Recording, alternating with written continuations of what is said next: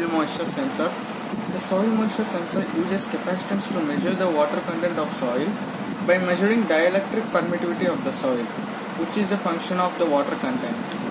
Now, let us see the connections.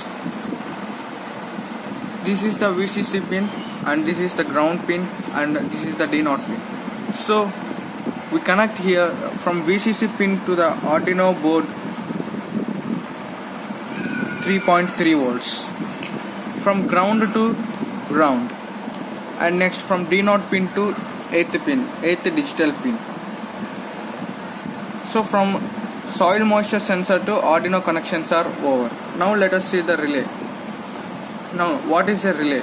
Relay is nothing but is automatic switching kind of operations.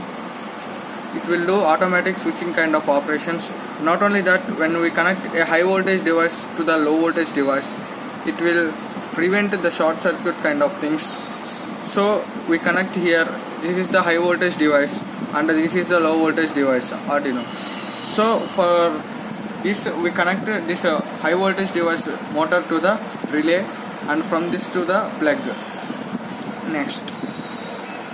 From the relay here ground. From ground pin to the ground analog pin and IN1 pin to the 13th digital pin and VCC to the 5 volts pin see now all the connections are completed. Let us see how it's work